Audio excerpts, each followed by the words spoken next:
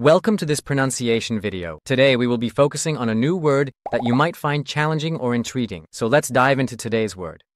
Zvezd, which means stars in Russian. Let's say it all together. Zvyost.